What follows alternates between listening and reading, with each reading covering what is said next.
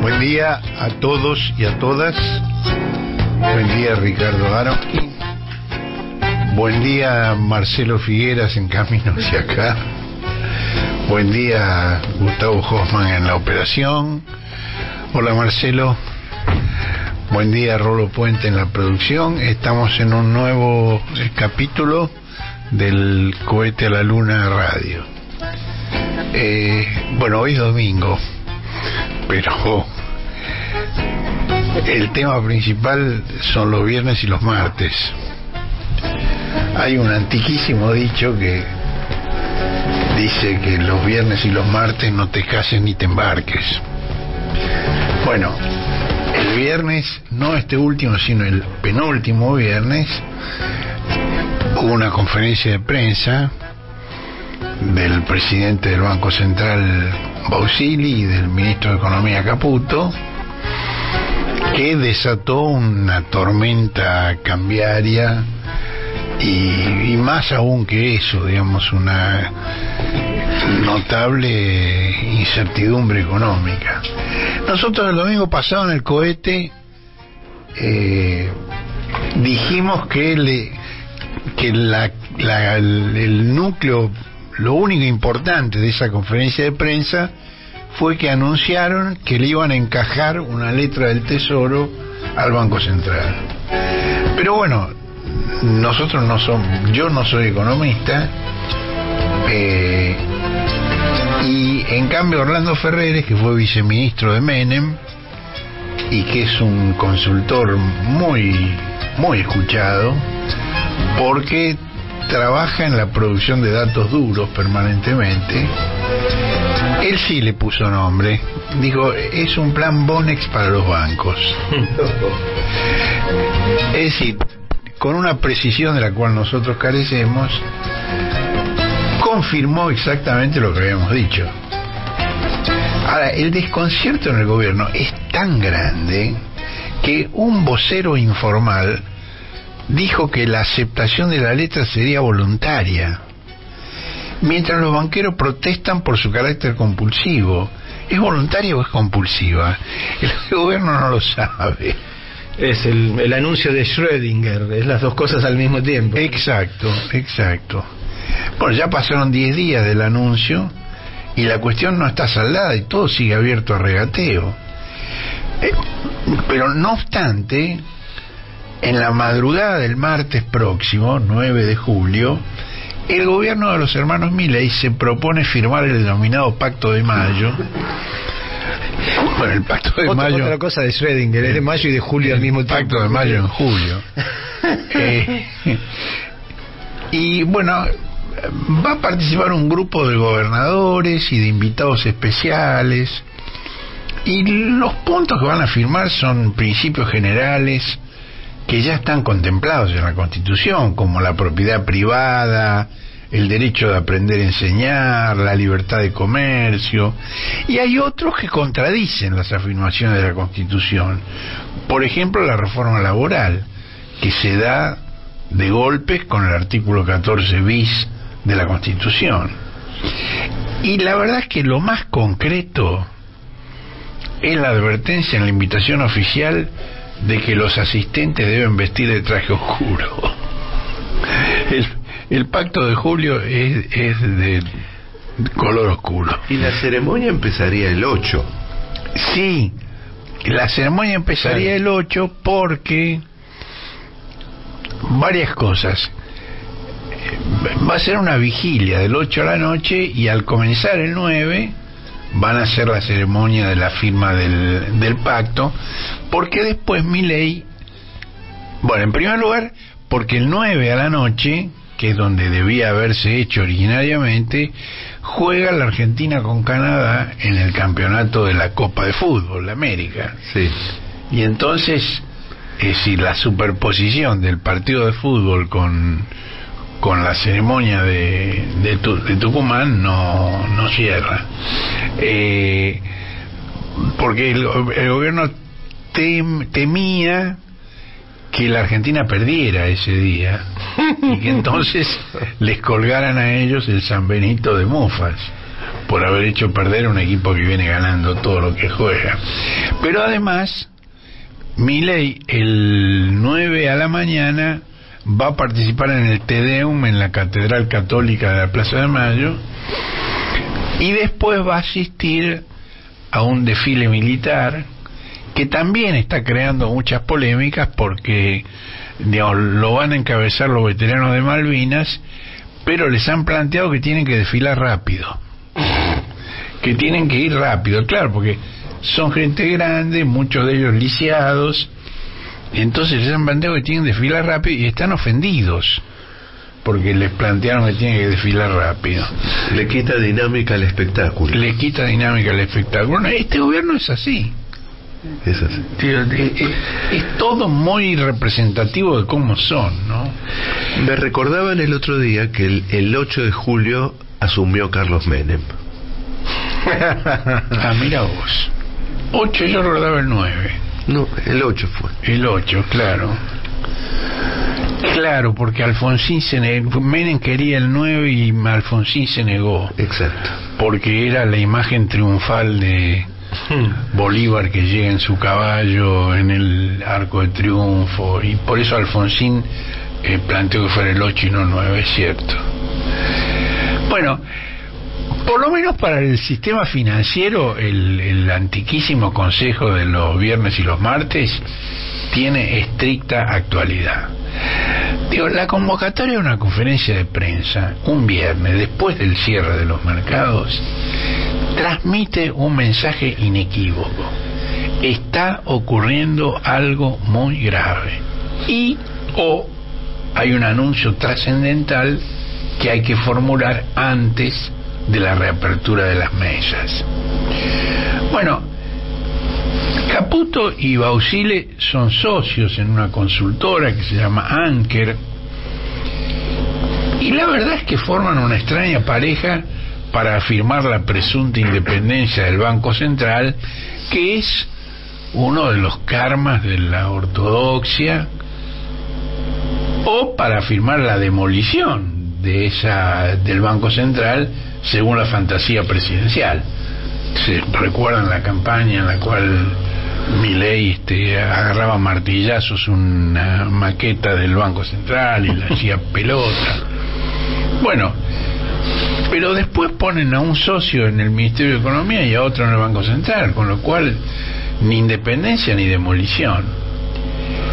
Bueno, el último viernes de junio, Bausili y Caputo celebraron el matrimonio del Banco Central y del Ministerio de Economía, borrando definitivamente la distancia entre ellas. Porque la letra la va a emitir el Tesoro, pero la va a administrar el banco. mayor mezcolanza es imposible de conseguir. Y además, entre ambos hay un pasivo que se consolida en alrededor del 10% del producto, lo cual contradice toda la retórica oficial sobre el déficit cero, sobre la emisión cero, no, no hay tal cosa. Ahora, con esa maniobra tan compleja, la conferencia de prensa, en la conferencia de prensa anunciaron que el lunes a la mañana iba a una reunión con los banqueros en, los, en las cuales le iban a explicar eh, este mensaje tan técnico del viernes. Digo, el mensaje técnico se lo dan a toda la población en un, en un mensaje, en anuncio público y la explicación después se la dan los banqueros a solas, todo, todo al revés. Y, en realidad solo ganaron unas horas porque difirieron las reacciones al encuentro con ese medio centenar de banqueros y los resultados fueron negativos porque volvieron a crecer las cotizaciones paralelas del dólar, volvió a crecer el riesgo crediticio de la Argentina, volvió a caer la credibilidad del gobierno y además las consecuencias de esto van a ser de largo plazo porque lo que lograron es intensificar la desconfianza en el esquema que administran Bausili y Caputo, que son dos especuladores financieros, no son otra cosa que eso. Y además esto incentivó la disputa interna del gobierno. Al punto, ¿ustedes vieron quién fue el principal crítico de la conferencia de prensa? No. Fausto Espotorno. es asesor? Es asesor presidencial. Y no perdonó un medio gráfico o audiovisual para criticar el anuncio destilando y él realmente diciendo que era inoportuno, que fue un error, que no debían, que después decía, bueno, el anuncio en sí no es no es incorrecto, la medida no está mal, pero bueno, de nuevo todo mal.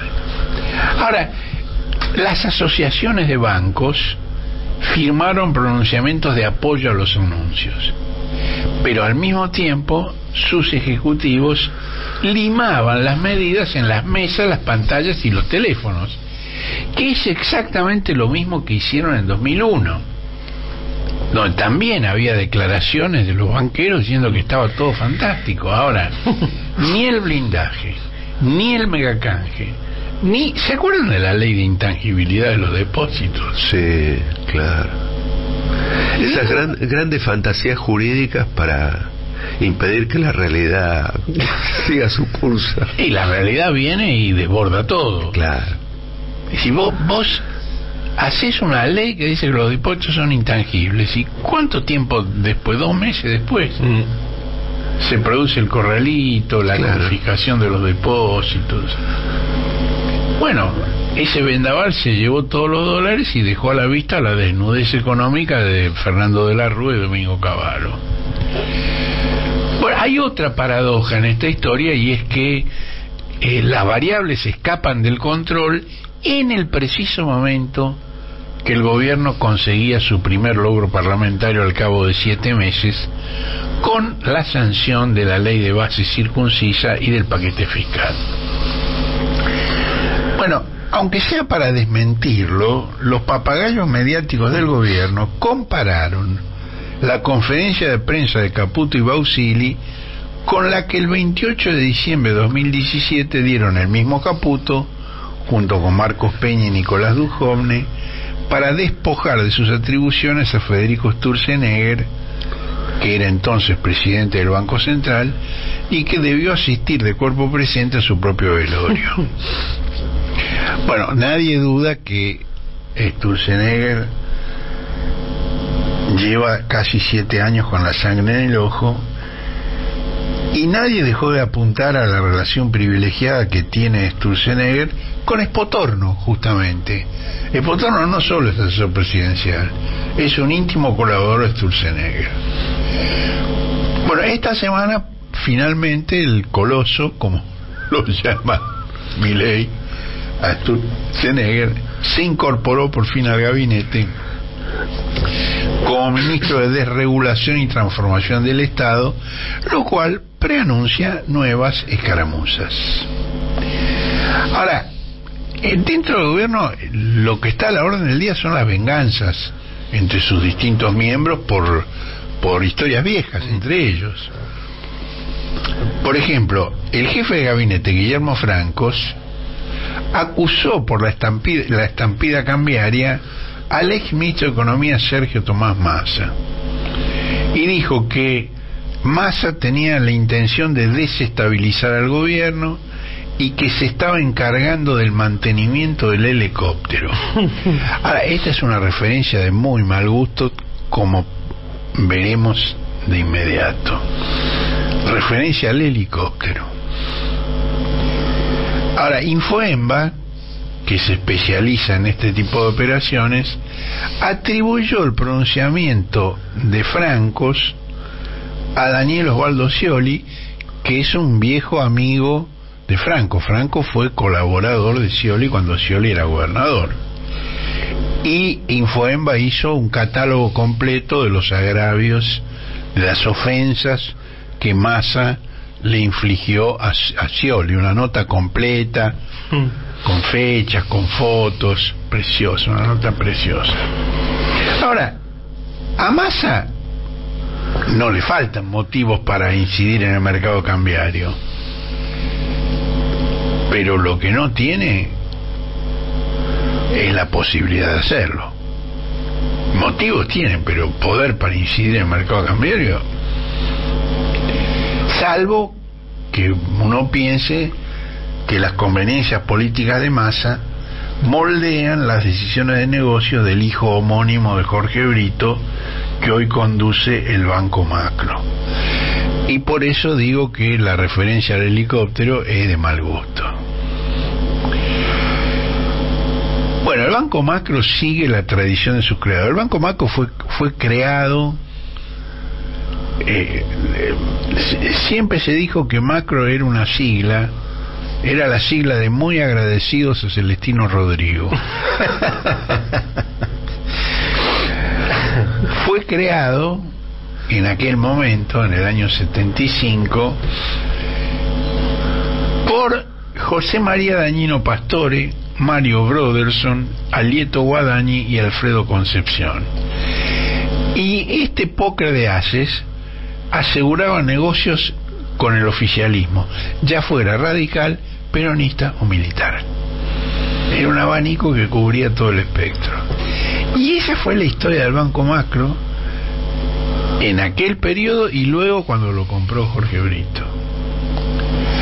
Ahora, es verdad que las conferencias de prensa del 28 de diciembre del 2017 y del 28 de junio del 2024 reflejan situaciones diferentes. Es cierto, no es la misma situación, pero la diferencia no es tan grande como la que hay entre los respectivos solsticios de verano y de invierno.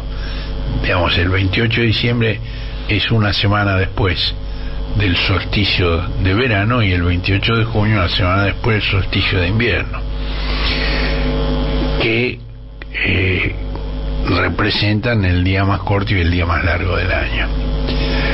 En aquel momento, en el 17, el sector político del gobierno de Mauricio Macri anunció, acuérdense, dos meses después de la victoria electoral en los comicios legislativos de medio término, anunció el abandono de las metas de inflación a las que se ataba el Banco Central de Sturzenegger, Sturzenegger desdeñaba la vertiginosa pérdida de reservas que esa política consumía.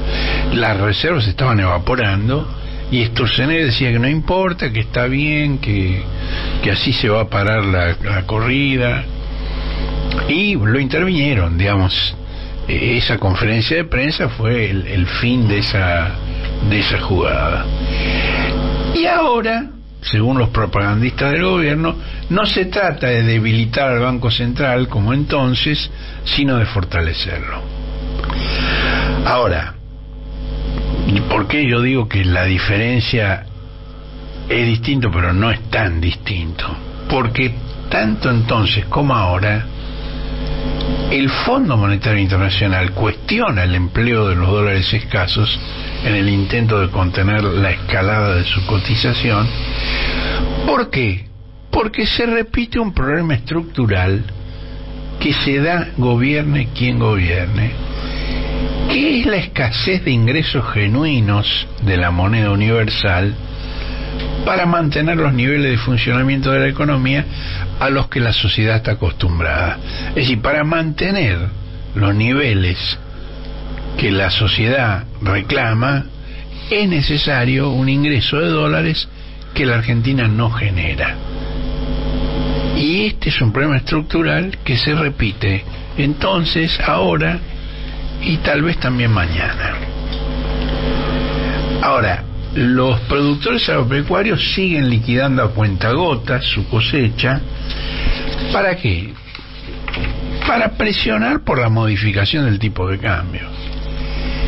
O otros porque prevén que va a haber una modificación del tipo de cambio. No es que presionen por ella, sino que prevén que va a ocurrir, la consideran inevitable y entonces ahorran en granos con los silobolsas. Mm. Si se va a devaluar, espero que se devalúe y cuando se devalúe, por el mismo grano voy a recibir mucho más dinero. Ahora, hasta Caputo y Bausile han admitido que en los próximos meses, en vez de superávit, se va a acumular un déficit de hasta 3 mil millones de dólares. También dijeron que al transferir los pasivos del Banco Central al Tesoro, se va a eliminar la emisión de 750 mil millones de pesos mensuales que en este momento se destinan al pago de intereses. Ahora, lo que no dijeron, pero en el mercado nadie lo ignora, es que en lugar de emitir 750 mil millones de pesos mensuales, el Tesoro va a tener que generar ingresos por ese mismo monto vía mayor ajuste. O los conseguís de una manera o los conseguís de otra manera. O, si esto se demostrara política o socialmente inviable, incurrir en alguna de las múltiples formas del default, que es lo que palpitan los banqueros. Y por eso el mal humor que manifiestan. Ahora, fíjense qué cosa curiosa, porque este es un gobierno que comparte los prejuicios, los mitos, las premisas de los banqueros. Pero con este gobierno temen un clavo gigantesco. Con este gobierno que no hay duda que es el gobierno de ellos. Mm. Es decir, les ha ido mejor con los gobiernos peronistas, les ha ido mejor con Cristina, les ha ido mejor con Néstor, les ha ido mejor hasta con el doctor Fernández, les ha ido mejor con Sergio Tomás Massa. Ahora, el discurso oficial sobre la emisión cero se repite permanentemente, pero es contradicho por los datos duros del Banco Central. Y es lo que hace que Cristina haya dicho que era trucho ese superávit, esa emisión cero. En el primer semestre, y este es un dato del Banco Central, en el primer semestre del gobierno de los hermanos Milei, la emisión creció casi ocho veces más que en el último semestre de Massa y del doctor Fernández. Bueno, Carlos Rodríguez del SEMA, que si de algo sabe es de temas monetarios, eh, le enrostró a Milei que entre el 7 de mayo y el 7 de junio la base monetaria había crecido un 30%. Ah, en un mes. En un mes. En un mes. Qué locura. Le dijo, déjese de fanfarronear. Para esto, ¿qué es lo que esto indica? Que, que todo el discurso oficial se basa en datos falsos. Si puede ser muy conveniente en lo inmediato, decís esto, te, algunos te escuchan, no entienden, te creen, puede ser, puede ser. Ahora, como era el, dicho ese, se puede engañar este, a algunos todo el tiempo, o a todos por algún tiempo, pero no se puede engañar a todos todo el tiempo, ¿no? Ah, yo pensé que ibas a ir por el lado de las patas mm. cortas de mi ley y de la mentira, pero, pero no. Creo que es de Churchill esa frase. Creo, Creo pero no estoy seguro. Ahora, en la década pasada, digamos, hubo otra alternativa que fue justamente el recurso al Fondo Monetario Internacional. Pero ahora esa posibilidad está cerrada, porque el Fondo Monetario Nacional no, no está dispuesto a poner un peso más. Y esto explica los berrinches presidenciales contra el chileno Rodrigo Valdés, que es el responsable de Subamérica en el Fondo Monetario Internacional. En el Fondo Monetario Internacional a Subamérica la llaman hemisferio occidental. Y Valdés es un ortodoxo, pero Milei lo, lo pinta de rojo, como casi todo lo que le disgusta, todo lo que no le gusta es rojo. En un mundo en el cual el color rojo está en absoluto retroceso, diluyéndose al rosa claro y reduciéndose en el mapa a algunos puntitos aislados por aquí y por allí. Hay una cierta daltonía porque en, el, en el FMI no hay nadie. nadie. Ni rojo, rojo, ni rosado, ni nada. Bueno, pero eh, acuérdense este el relato de Mr. Magoo que Cristalina Georgieva era el rosa subido. bueno, hubo una gestión de amables componedores entre Caputo y Valdés, y el que actuó en ese rol fue otro chileno, José Luis Daza. Es, interesante el caso de Daza, porque Daza es un economista ortodoxo totalmente, que nació casualmente en la Argentina, porque su padre era diplomático chileno y tiene las dos nacionalidades. Y entonces está contemplado su ingreso al gabinete como viceministro de Economía de Caputo. Sería de alguna manera un un auditor del fondo dentro del Ministerio de Economía. Ahora, mi ley ha cargado abiertamente, públicamente contra Rodrigo Valdés, han pedido que lo corran de las negociaciones con la Argentina, que lo que lo echen.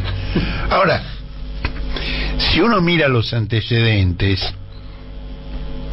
en los tres cuartos de siglo que lleva de existencia el Fondo Monetario Internacional, o en los eh, en los 70 años que la Argentina es miembro, varias veces el fondo se cargó a ministros argentinos. Por ejemplo, Bernardo Greenspoon, que era el ministro de Economía de Alfonsín, el fondo pidió que lo que lo echaran y Alfonsín lo echó a pesar de que era un amigo personal y un tipo de confianza. Es cierto, Greenspoon era un tipo muy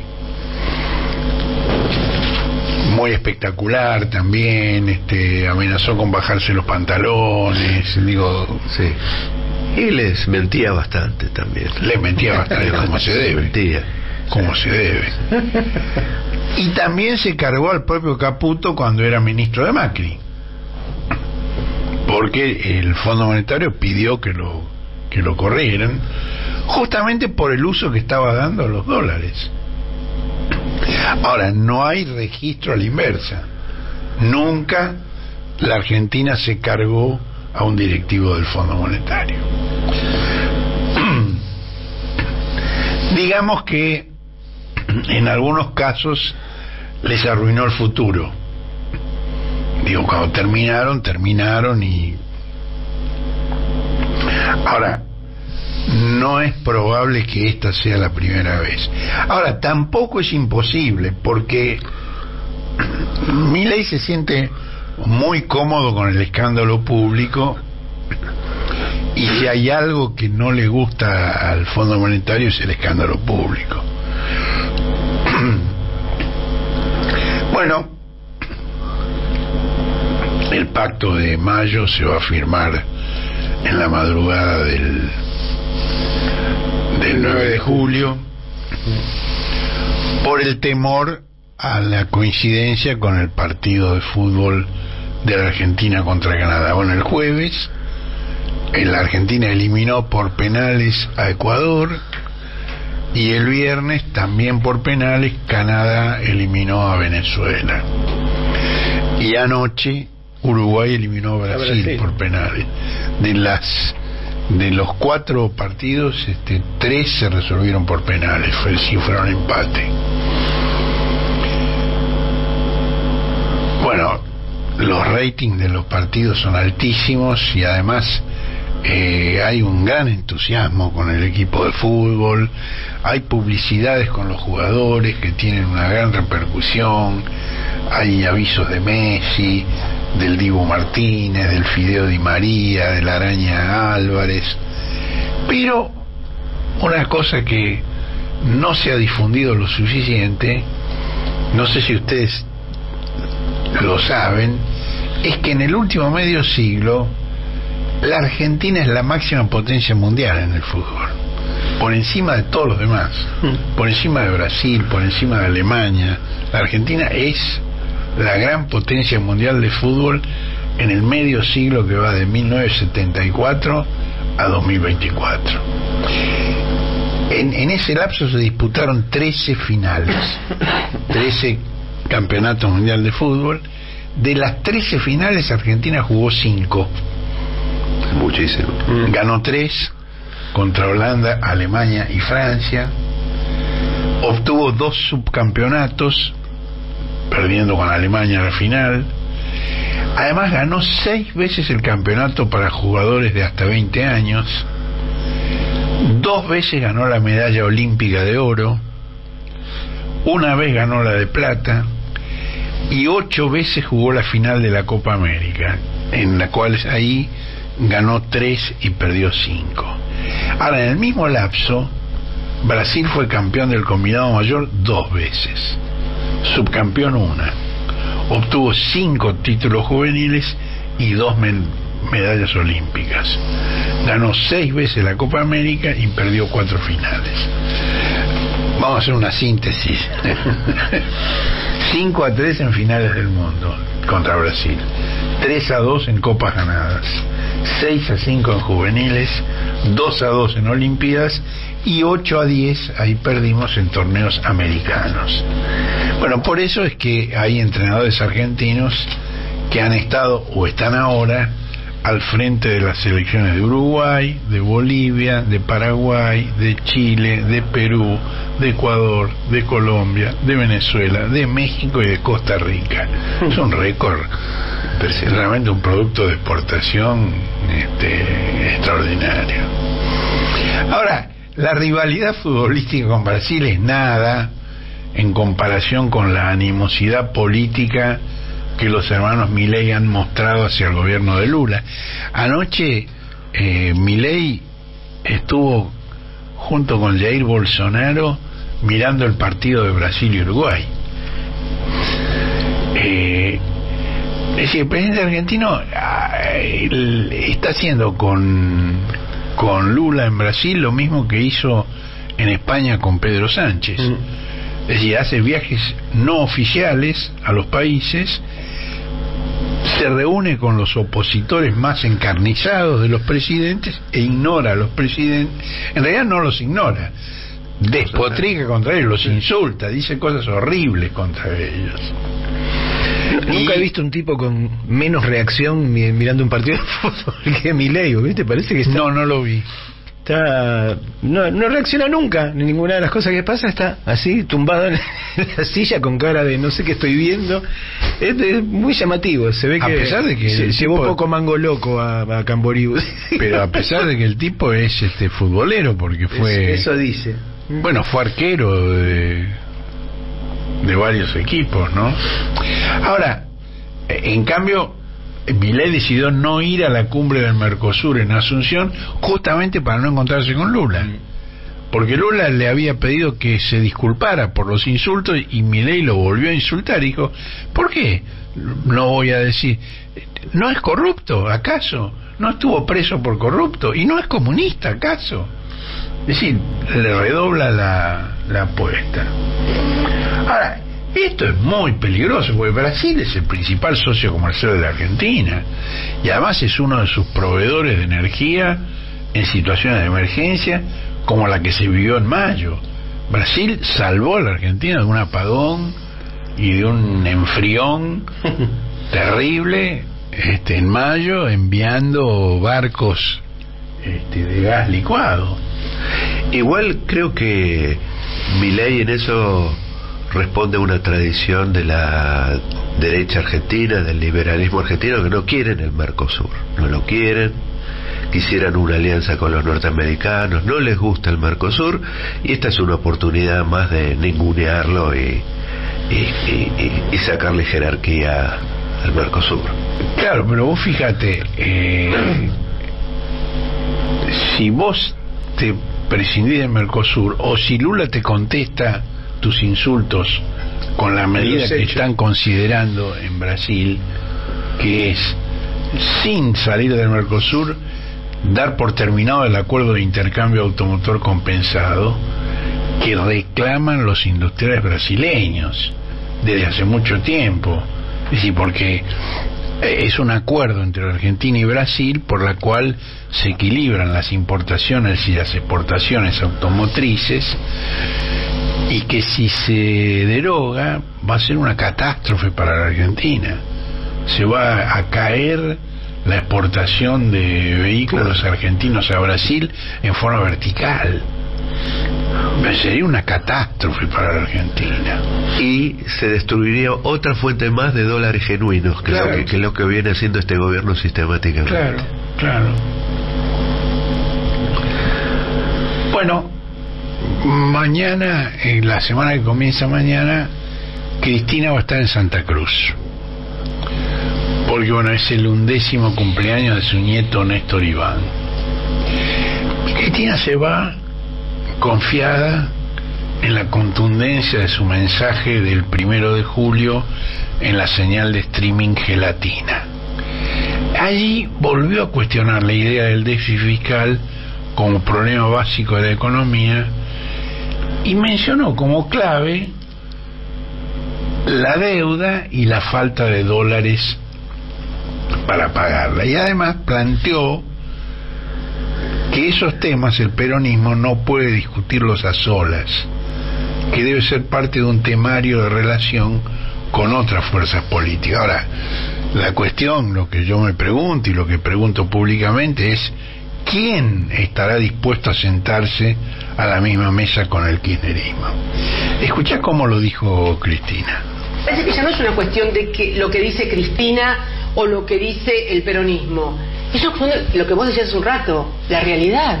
Mira cómo está el gobierno, pidiéndole de vuelta 10 mil millones de dólares al Fondo Monetario. Parece ser que los 45 mil millones de dólares que le pidió Macri en el 2018 no le alcanzan. Ahora van a pedir 10 mil más. Pero como no era que el déficit fiscal, el problema era los pesos y el déficit fiscal, ¿qué pasa entonces? No, no era eso, ¿viste? Era que te faltan dólares, escasez de dólares y endeudamiento. Y eso se va a agravar. ¿Por qué se va a agravar? Y porque vamos a tener los vencimientos eh, de la deuda que se reestructuró en el 2020 más lo que, se, lo que tenemos que pagarle al fondo por lo que sacó Macri. ¿De dónde van a sacar los dólares? Para mí, esa es la primera discusión. Y la economía bimonetaria, y que se acentuó mucho después del golpe, por lo que yo decía hoy, del 76. Entonces, tenemos una sociedad que quiere ahorrar en dólares. Lo hace también por una memoria de lo que pasó con la inflación. Pero Brasil también tuvo una inflación altísima del 3.000% e Israel también y pudieron superarlo. Pero para esto tenés que tener acuerdos básicos, no bases. Bueno, ¿por qué Cristina está tan tranquila con esta intervención que tuvo en el aniversario del medio centenario de la muerte de Perón? Bueno, en el acumulado del primero de julio y de los días siguientes, esa entrevista de Cristina la vieron 811 mil personas. Y al mismo tiempo, simultáneamente, entre las 20.53 y las 21.20 del mismo día, el diálogo de Cristina con Pedro Rosenblatt se solapó con la presencia de Milei en la señal de noticias por cable del grupo Clarín. Eh, yo no tenía conciencia de eso en su momento, lo, lo verifiqué después. Ahora, el rating presidencial en promedio fue de 4,4 puntos. Y cada punto expresa a 114 mil personas. Es decir, que su alcance llegó a 501.600 televidentes. Y si a esto le sumas el acumulado de varios días en YouTube que tuvo también Milei, que fue de 298 mil, llega a 799.600.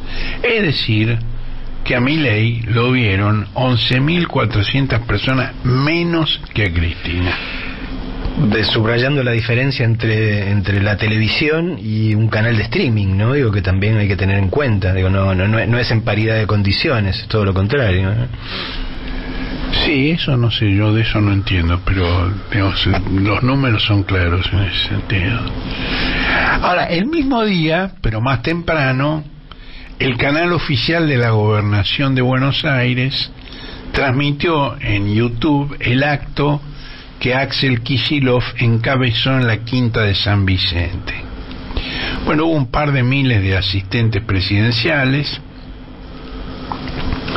y a esto se sumaron los 17.867 que lo vieron en las pantallas.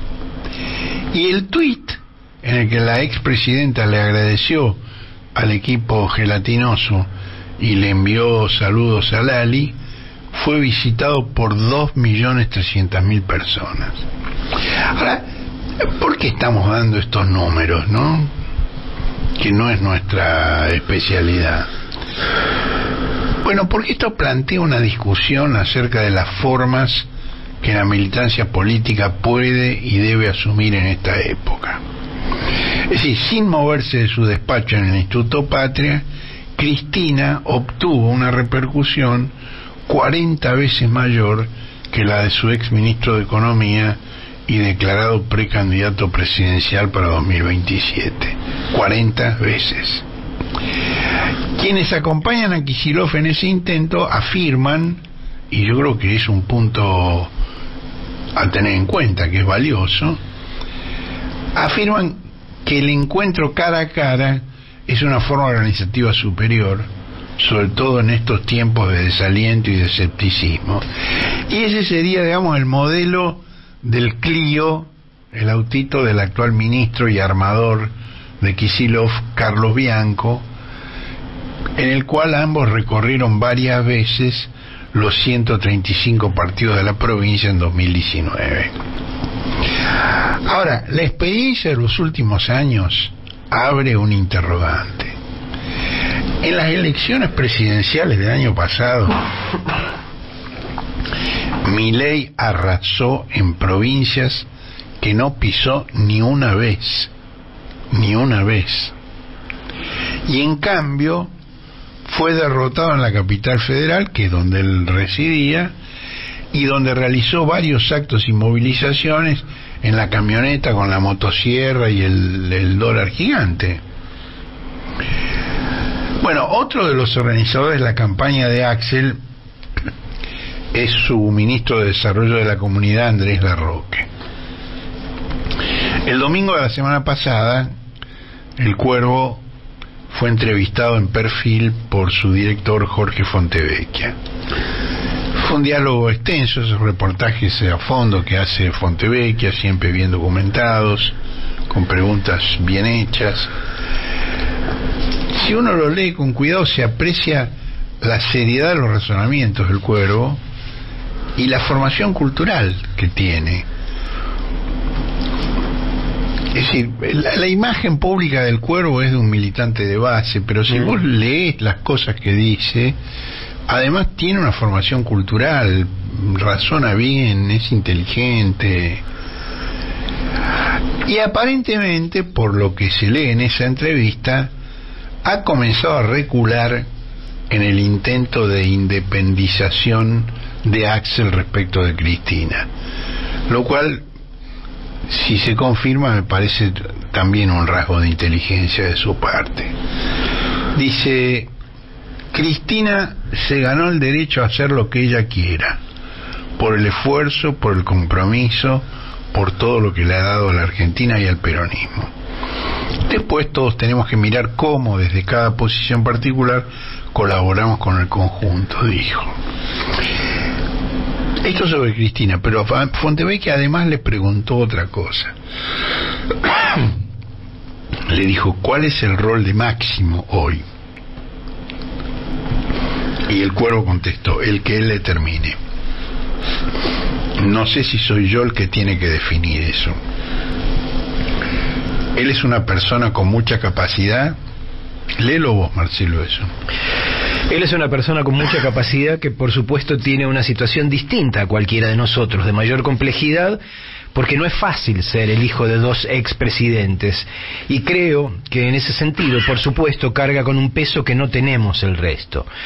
Más allá de eso, la capacidad la tiene para desarrollarse donde él se sienta más a gusto y donde también eso contribuye a la consolidación y al desarrollo del conjunto de la fuerza política porque más que pensar la política en términos de lo personal y qué hace cada uno, nosotros, por filosofía, tenemos la idea de ver dónde y de qué manera aporta cada uno desde lo individual al proyecto colectivo.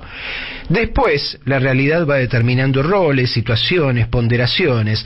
Todos tenemos que advertirlas para poder, con sentido de ubicuidad, encontrar nuestro mejor rol. Bueno, este es un replanteo inteligente a mi juicio y además, eh, los otros armadores, digamos, de la candidatura de Axel se han llamado silencio sobre estos temas. Bianco, eh, el intendente de Ensenada Mario Seco, el secretario general de la CTA Boyaski, el intendente de Berizo Fabián Cagliardi. De modo que la posición de choque contra el kirchnerismo ha quedado solo a cargo del ex ministro de Hábitat del doctor Fernández, Jorge Ferraresi. La preocupación de Ferraresi es manifiesta y declaradamente electoral y no deja de hablar de quién maneja la lapicera para confeccionar la lista de candidatos. Ahora, la actitud de Cristina de no entrar en las disputas internas y la de Máximo de dejar sin respuesta los ataques que recibe, preanuncian un posible reordenamiento en el peronismo bonaerense, donde también hay que contar a Massa. A la Roque tuvo el tino también en esa entrevista de encomiar el desempeño del exministro de Economía como candidato presidencial en 2023. Y digo el tino porque no se puede descartar que tenga que apoyarlo de nuevo en la próxima elección legislativa.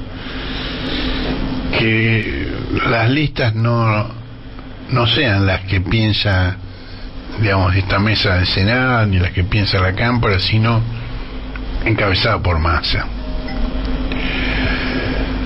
Bueno, esta semana también eh, comenzó el debate público en el escandaloso juicio por la tentativa de asesinato de la expresidenta sin el cual es improbable que Javier Milei hubiera llegado a la presidencia. Bueno, hablar de desidia en la investigación judicial sería generoso, porque la forma en que fiscales y jueces excluyeron de la causa a Revolución Federal, hicieron ojos ciegos a su financiamiento por Caputo Hermanos, quitaron de consideración a Gerardo Milman, a Patricia Bullrich, al experto en el borrado de teléfonos Jorge Teodoro, actual funcionario que acompaña a Patricia Bullrich en el ministerio, no, no se puede calificar de desidia, sino de encubrimiento y de complicidad. Ahora, volvamos al tema anterior, ¿no? Faltan tres años para la, elección de renovación presidencial. El lanzamiento de candidaturas en este momento es un ejercicio de la imaginación que distrae de tareas urgentes y profundiza el clivaje entre la política profesional y la vida cotidiana de las personas. Pero falta mucho menos para los comicios de renovación legislativa de medio término y los hermanos Milley van a tratar de corregir la anomalía que caracteriza su gestión única en los 40 años de democracia donde el partido que tiene el poder ejecutivo no tiene gobernaciones apenas tiene tres intendencias solo en La Rioja, fruto de su alianza con el menemismo, y tiene muy escuetas bancadas legislativas. Esto no había ocurrido antes. Hay un sondeo reciente de analogías que a una muestra representativa le preguntó a quién votará en las elecciones del año próximo. Y los resultados mostraron una paridad muy grande entre la libertad avance y el peronismo. Fue una encuesta sobre 2.800 casos realizada entre el 27 y el 30 de junio y ahí el 33,5% respondió que votaría las listas de mi ley y el 30,2% al peronismo, que es una diferencia equivalente al margen de error de la encuesta. En cambio, y este me parece el dato más relevante, apenas el 6,5% elegiría al PRO de Macri y nada más que el 4,8% al radicalismo. Cifras absolutamente equivalentes al 5,6% de la izquierda y al 5,7% que votaría en blanco.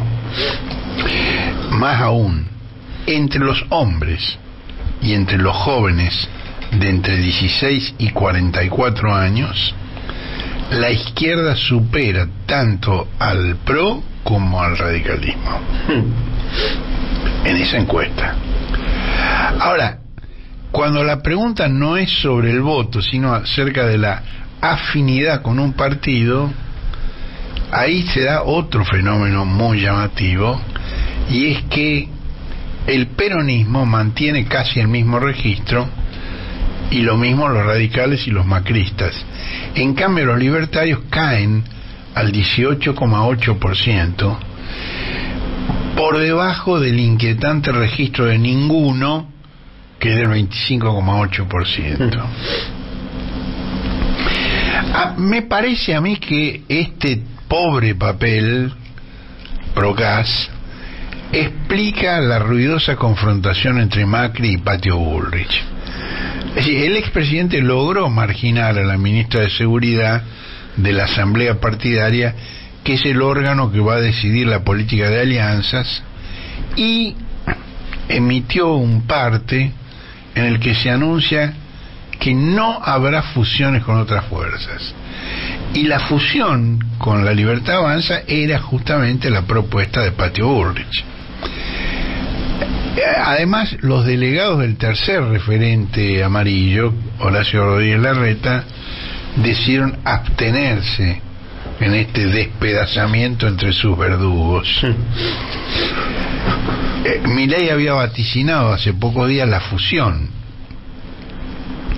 y su hermana está registrando provincia por provincia el partido que protagonizaría la próxima etapa siempre que la paciencia social se mantenga en los términos actuales y hay indicios de que eso está cambiando pero no solo que los índices de aprobación de mi ley al séptimo mes de gobierno son menores a los que tenían a la misma altura de sus presidencias Macri y el doctor Fernández, sino que además se está achicando esa diferencia.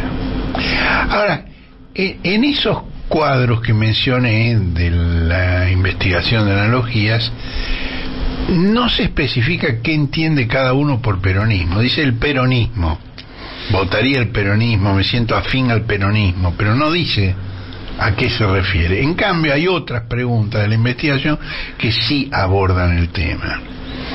Dice, ¿a qué espacio peronista se siente usted más cercano o con más afinidad? Esta pregunta se la hace solamente a los que respondieron peronismo en la anterior, ese 30%. Bueno, de esos peronistas, el 56,8% dice que se identifica con el kirchnerismo, el 18,9% con masa y solo el 16,5% con el espacio no kirchnerista. Ahora, esto tampoco dirime la confrontación que impulsa Ferraresi, porque cuando se pregunta sobre quién es el principal referente del peronismo, la dispersión es mayor, pero la nómina también es encabezada por, en forma nítida por Cristina. ¿Quién cree usted que es el principal referente del peronismo? Cristina Fernández de Kirchner 26,3%, Axel Kicillof 15,2%, eh, Sergio Massa 6,8%, ninguno de los anteriores 20,2%, no sabe 23,9% y un rasgo de humor negro. Guillermo Moreno 7,6%. Bueno, como referente peronista muy por debajo de Cristina y de Axel y por debajo de Massa incluso, aparece el ex secretario de Comercio Guillermo Moreno, que digamos se está dedicando al panelismo televisivo donde reúne más adhesiones que cuando reclamaba el voto. Ustedes se acuerdan que la última vez que pidió el voto no pasó del 0,8%. Ahora, eh, evidentemente en este momento en el peronismo hay una situación de confusión muy grande, porque esto lo que permite que Moreno haya sido el convocante de un encuentro de economistas que representaron a distintos sectores del peronismo, a Massa, a a la Cámpora, para elaborar un programa económico común. Un texto base que presentó eh, Moreno, repleto de generalidades. Por ejemplo, el capital debe estar al servicio de la economía. La economía debe estar al servicio del ser humano. Los instrumentos económicos deben subordinarse a los objetivos. La prioridad es la industrialización, la producción y el empleo. Yo solamente un comentario, estoy totalmente de acuerdo con lo que decís vos, pero eso de por sí que nos parece como una cosa básica, elemental, no es lo que se está haciendo en este momento en el país. No, claro. No, por supuesto, por supuesto. Digo, pero eh, digamos como programa alternativo justamente a lo que está haciendo en el país es elemental. Elemental. Elemental. Después hay hay una propuesta más más concreta que es este la emisión de un bono patriótico que deberían suscribir los propietarios de la tierra de la pampa húmeda. Y Moreno planteó la elaboración de un documento conjunto del movimiento peronista que se entregaría a los representantes empresariales, a la CGT y a quién? ¿A quién más? Al Fondo Monetario Internacional. What? Moreno quiere entregarle un documento al Fondo Monetario Internacional. Pero además, ese documento plantea la posibilidad del reemplazo de Milei por la vicepresidenta Victoria Villarroel. Eso sería una catástrofe institucional en la que Moreno se regodea con la ligereza que lo caracteriza. Está recorriendo paneles televisivos directamente celebrando que Milei no va a terminar el mandato, que se va a tener que ir, que... Digo, ¿cómo podés celebrar una catástrofe institucional de esa magnitud? Bueno, en, en esa... La reunión duró dos horas y hubo cinco personas que tomaron fotos y filmaron videos para la publicidad personal de Moreno.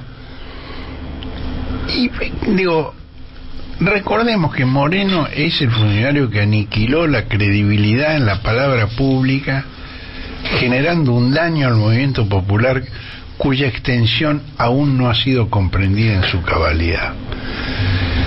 Es decir, la manipulación de la información pública sobre la economía, la tergiversación de los datos que Moreno encabezó, es un atentado a la credibilidad de la palabra pública que de consecuencias devastadoras para el kirchnerismo.